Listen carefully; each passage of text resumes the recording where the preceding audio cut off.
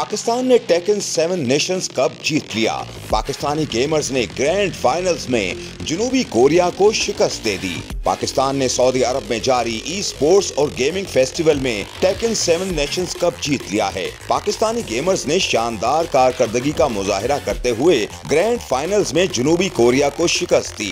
दुनिया के सबसे बड़े ई स्पोर्ट्स और गेमिंग फेस्टिवल का रियाज में आगाज़ हो गया, जिसकी इनामी मालियत 30 मिलियन डॉलर है, जो कि आलमी रिकॉर्ड प्राइज पूल है। सऊदी ई स्पोर्ट्स फेडरेशन के चेयरमैन शहजादा फैसल बिन बंदर के मुताबिक रियाज बुलीवार सिटी में मुनद होने वाला इवेंट इस मौसम गर्मा में गेमर्स और तफरी के मुतलाशियों के लिए यकसा हदफ बनने की कोशिश कर रहा है। इस फेस्टिवल में इकसठ ममालिक की 113 बैन अवी टीमों के तीन सौ इक्यानवे बेहतरीन खिलाड़ी शिरकत कर रहे हैं, जिनमें पाकिस्तान, जापान, जनूबी Africa, Saudi Arab Thailand Peru France Philippines Australia Germany और दीगर ममालिक सर फहरिस्त हैं